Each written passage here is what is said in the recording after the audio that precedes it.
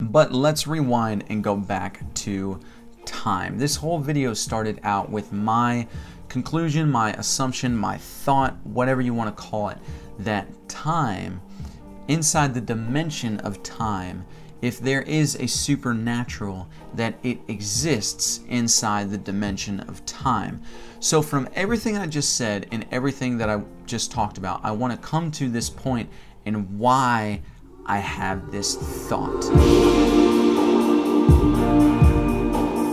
So if everything on a cellular level is time symmetric, that would mean no past, no future. That would mean everything past, present, future is always in the now. What does science have to say about now? So for this, we're going to go back a little bit and talk about particle physics. And in talking about the now, we're going to talk about this thing called quantum entanglement. So quantum entanglement basically, and I'm going to explain more in depth of what it is and how it relates to this topic of time, but basically when two particles are formed by spontaneous energy, then the particles are connected, entangled together, even when they're separated billions of light years apart. So, how scientists have tested the quantum entanglement is that they have created this these two particles out of spontaneous energy. I don't think it's really spontaneous energy if you created it, but whatever. So they created out of this energy source two particles. And when you measure the particles, they will either come out positive or negative. Now, it's more complicated than that because there's this thing called spin that is with the particles, but the particles don't spin. Um, it's just what they call it. And then there's this thing of waveforms and a collapsible waveform and just it's all too complicated so i'm trying to simplify things for you so for simplicity's sake we're going to say that when you measure a particle it comes out either positive or negative so once you measure that particle in the same direction of measurement once you measure the two particles. One of the particles will come out positive and the other one will come out negative. And so the crazy thing about this is that before the particles are measured, they are both in what's called a superposition. They are both positive and negative. And then once one of the particles is measured, the other one simultaneously with zero delay in time whatsoever will come out the exact opposite. So if this one becomes, they, they measure it and it comes out positive, this one will be negative. If they measure this one and it comes out negative, this one will be positive. And scientists have said, well, maybe somehow the particles communicate with each other that, okay, I'm going to be positive, so you come out negative, or, you know, vice versa. But through experimentation, this is not at all the case. And they have done many, many, many scientific studies about this, but it's it's always 100% the case. Like many scientific experiments, it's always come out the case that no matter how the particles are measured, because depending on how the particles are measured, there's a 50, obviously there's a 50-50 chance if it's going to come out positive or negative. But 100% of the time, if they measure this particle and it comes out positive, the other one, no matter the distance, no matter, there's no delay in time at all whatsoever they will come out opposites of each other. They are entangled quantumly together. It's it's like everything is every all the particles are in the superposition and then once measured then we can see what they are but before we look before we see what they are it's all just energy that's all the same thing so how quantum entanglement relates to time is that time in order to measure it you have to have two different points to measure. You have to be able to measure the distance between the two. But because of quantum entanglement, the particles, there's no distance to measure. So time is not a thing. So there is no distance of time between the particles, which means that time on that scale is just a static block universe. And I'm coming back to that because block universe is very important. In the block universe, essentially, our universe would look like just a static block if you were looking at it from the outside in. Some people say this is how God sees our universe. It's a static block universe. You can look, you know, left or right and see the past or future, and you can look the other way and see past or future. It's just you see time laid out in front of you. It's just a static block universe. So this means on a cellular level, the past and future are no different than left and right. So if that's the case, one might ask, why do I remember the past but have plans for the future?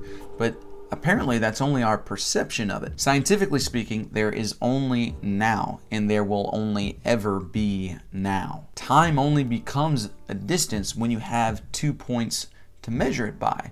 But in particle physics and quantum entanglement, there's nothing to measure. So our perception of memory tells us that time is linear, but the science says that's that's only our perception of it. Time is not linear. If time and space is always now, that means everything is infinitely constant, which leads back to what I was talking about. It's called the block universe. So as we've already talked about, we don't know what causes the forward motion of time. We've thought it was the law of thermodynamics and entropy, but as quantum physics tells us that as entropy grows, it's not a forward motion of time, but it's time itself. Time itself is becoming more and more as entropy increases, but that doesn't mean it's more of the future. It means more of the now. So scientists and physicists call this the problem of time, that on the most fundamental level of our physical reality that has to do with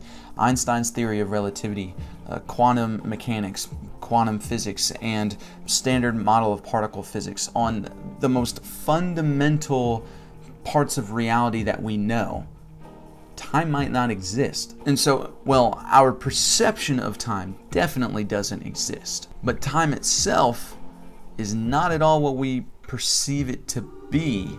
So then, what is it? And so, on this article that I read, this philosopher basically summed up how we can see time. That time in our perception is basically change.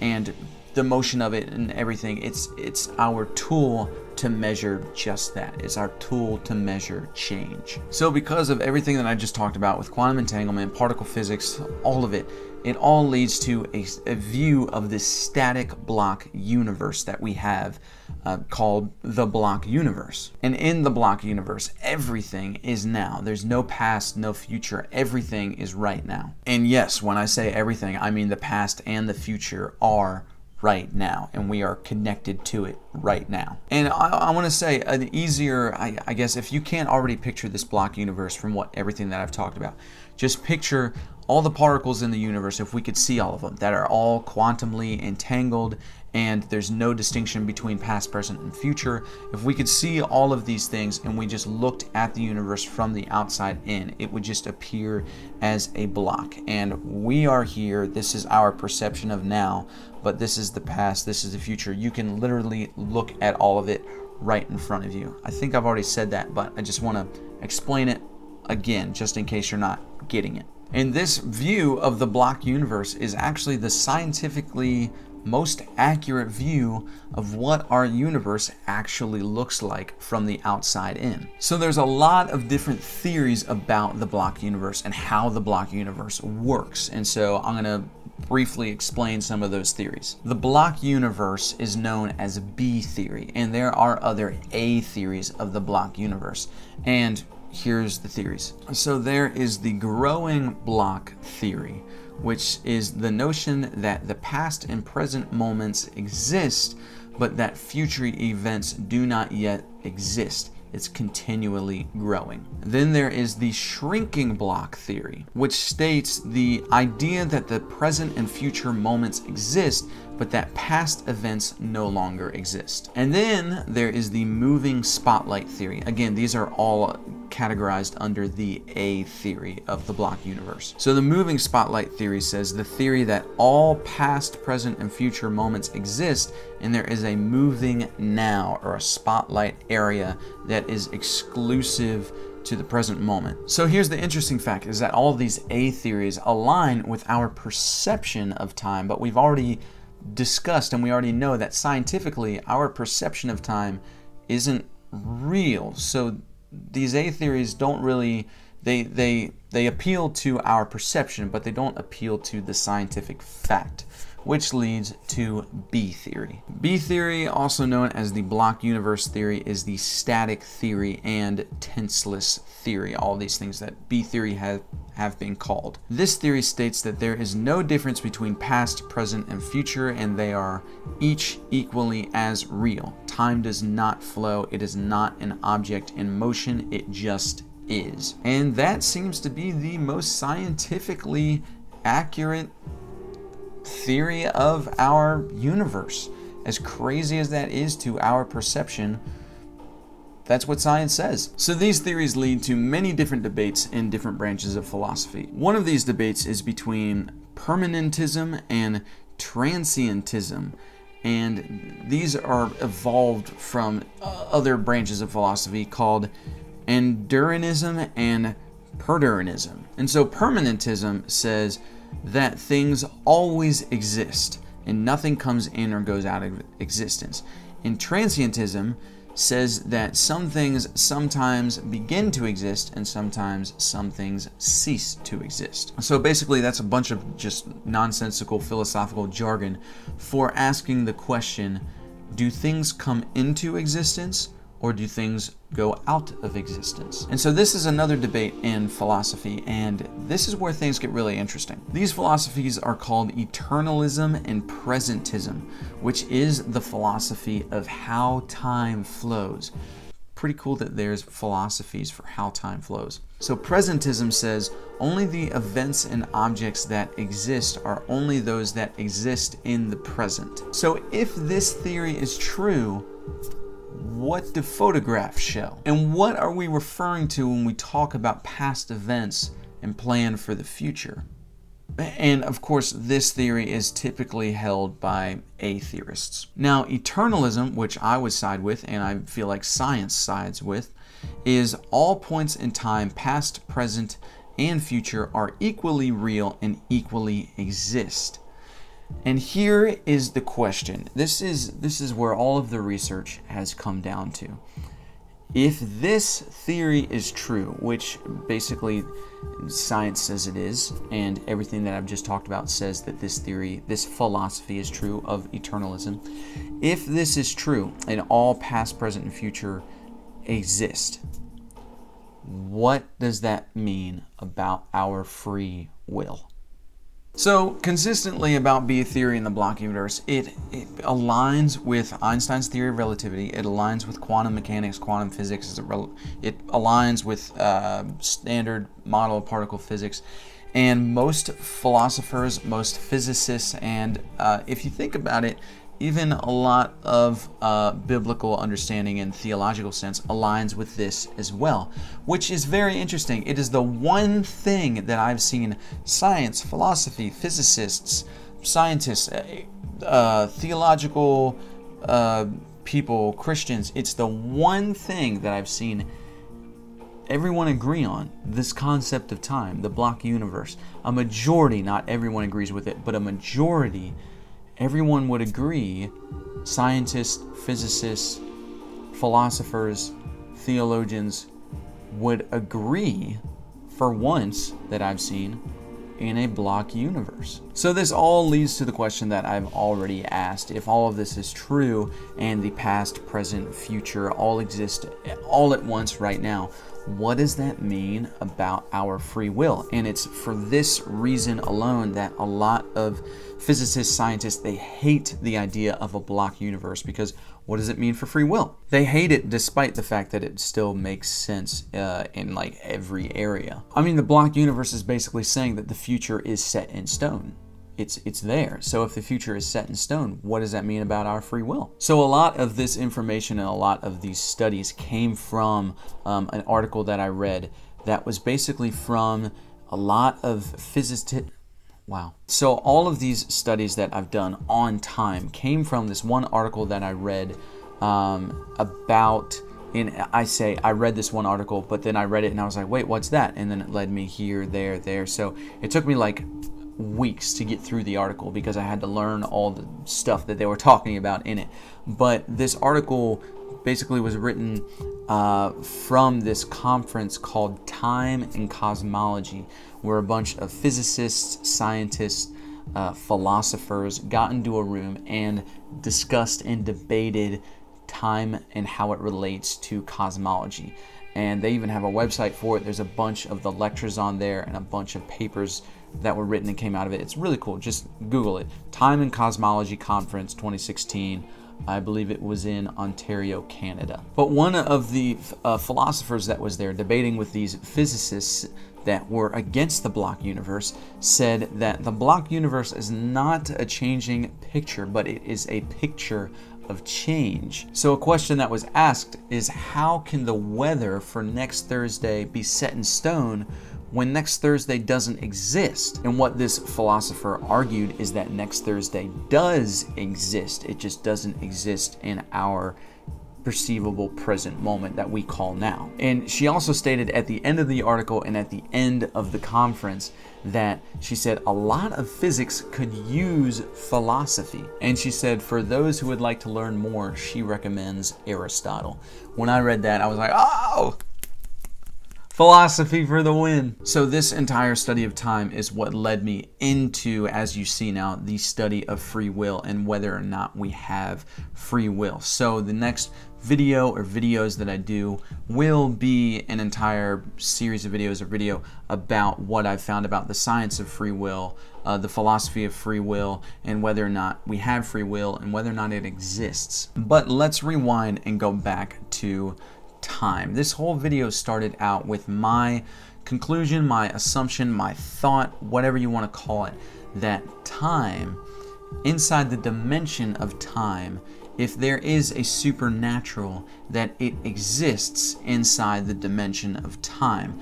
So, from everything I just said and everything that I just talked about, I want to come to this point and why I have this thought. And just to point out, these are my own subjective thoughts. I don't have any, there's no like truth based in this. But if you do want to apply it to the science of things like I did, and you say, hey, that makes sense, then maybe it is true. Maybe it is truth based. Maybe there's something to it. But this is my thought process and thought pattern. This might seem very out there to a lot of you, but hey, that's okay. Um, whatever. So I want to start this by saying I watched this documentary on Netflix that explained my thoughts better, I should say. And it was just a part of the documentary. And it, the documentary was called Heal. And in that, uh, they said they were talking about prayer and how prayer, people think that prayer is just this uh, spiritual, loosely kind of talking to air kind of thing. But then this uh, scientist, or maybe he was a psychologist, explained no, we actually have the science for it now. And what he equated the science of prayer to was quantum entanglement, saying that when we pray, that we are accessing uh, our cells in our body are accessing the cells that we are mentally or consciously portraying to, or they're connecting with those other cells that we're praying for, those other cells that we're thinking about, that we have the ability to control that in our mind. And it's through quantum entanglement that we can make that happen. And so that's a different way of what I had to, what I was thinking and what I was saying is that quantum entanglement, it happens on that plane of time. It happens, I mean, kind of in that dimension of time. And so my thoughts are if, you know, you were to pray for somebody that, if you think about it, our bodies heal over time. So if you pray for somebody uh, of a physical illness and they get healed, wouldn't it make sense if you were accessing a pocket of energy that reached into the dimension of time and through quantum entanglement or whatever, pulled out, you know, uh, the cells that were regenerating faster, and you were just accessing time in that sense of you know instead of it taking six months for something to heal it took an instant or it took a week or whatever you want to say. Wouldn't it make sense if through prayer you were reaching through time at what was or what will be uh, any of it? That wouldn't that make sense? So for me, that was one of the thoughts that I had of the supernatural possibly existing inside the dimension of time. So then I thought, okay, time we experience gravity but time doesn't experience gravity so if we were if we were in the dimension of time and we're able to access through quantum entanglement again any area that we uh, wanted wouldn't we be able to access a place or uh, through quantum entanglement through the cells in our body whatever you want to call it the more scientific term about it wouldn't you be able to access uh, places where gravity did not exist and then comes in levitation uh, which is these are crazy supernatural feats crazy supernatural encounters. I get that. If it's out there whatever. This is just where my brain goes. This is how i think. These are my own subjective thoughts. Who knows if any of this is true but this is just me thinking out loud. And then this is an obvious one but time travel. Obviously for time travel if you were looking outside of the universe at you know i guess in the dimension of time or however you want to put it that you would be able to see past and future as it was left and right and you would be able to walk down the street into the past or you know into the future if you were able to be in the dimension of time. And then this opens up everything through quantum entanglement and through accessing the dimension of time if the super if the supernatural exists inside the dimension of time or it is the dimension of time. Who knows? But this opens up everything for telepathy. Tele i mean teleporting telepathic tele i mean everything telepathic whatever all of it it just it opens the door to all of it if it all exists then it all has to do with the dimension of time and quantum entanglement and the particles and, and everything like that. So that's a lot. I get that that's a lot, and it's a lot of out there stuff as well. And if it's too out there for you, that's fine. If I'm wrong, I'm wrong. I'm not afraid to be wrong. You know that on this channel. I made an entire video on this just saying I was wrong about this certain subject. And so, uh, yeah, I'm not afraid to be wrong. And if I'm wrong, I'll fix it, I'll correct it. But this is all part of the journey that I'm on. Welcome to my journey and my head and my thoughts that I have, no matter how crazy they are. Welcome. So as I said, my next video that I do will be about uh, everything that has to do with free will and why I still, even uh, with the block universe model of the universe and believing, having the philosophy of eternalism and all that, um, I, I, find evidence uh, that supports free will and that it still exists. So I will make an entire video or video series. I don't know. However this comes out, this is either going to be one really long video or just a video series. I'm not sure how I'm going to do it yet, but um, that will be the next thing. Is I will be making a video on free will. So please be patient. Um, this stuff takes time, this research. I've done the research for all this, but like this, I didn't know that this was going to take so much time this week because I saw all these things and I was like, wait a minute, I don't fully understand that. So I actually have to do more research to fully understand it so that I can talk about it further. So hopefully you can expect the video or videos on free will in a couple of weeks. But let me know what you think about all this crazy stuff down in the comments. love to know your thoughts. Love to know uh, what you think, if the supernatural relates to the dimension of time, if it's in the dimension of time, quantum entanglement, all of it. What do you think about it? What do you do with it? Let me know down in the comments, and uh, it's going to be great. And last but not least, if you liked this video and if you liked everything on this channel. Go check out all this other stuff on this channel. I got so much happening. So last but not least, if you did like this video or videos, whatever I do with this, if, if you liked it, please make sure you like, subscribe, and share. And I will see you misfits in the next one. Peace.